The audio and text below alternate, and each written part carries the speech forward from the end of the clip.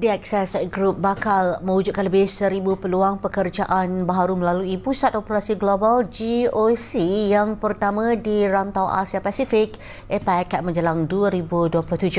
Timbalan Menteri Pelaburan Perdagangan dan Industri Malaysia Liu Chintong berkata penubuhan GOC di rantau APEC merupakan salah satu langkah peluasan akses dan pengembangan global melalui usaha sama Perbadanan Ekonomi Digital Malaysia MDEC.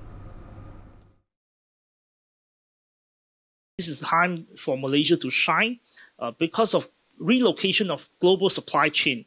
So Malaysia had uh, first economic takeoff in the in the 80s and 90s. I think this is a Malaysia Malaysia's chance to shine. Liu berucap pada Majlis Pelancaran Akses Go Center di Ibu Negara pada Isnin. Dalam pada itu, Menteri di Jabatan Perdana Menteri Wilayah Persekutuan, Dr. Zaliha Mustafa berkata, perubahan GOC adalah platform untuk merealisasikan visi ekonomi digital dengan matlamat mewujudkan ribuan pekerjaan digital bernilai tinggi menjelang 2027.